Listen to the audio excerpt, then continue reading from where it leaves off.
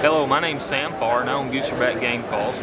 I'm going to demonstrate uh, one of our diaphragms and then I'm going to demonstrate one of our friction calls.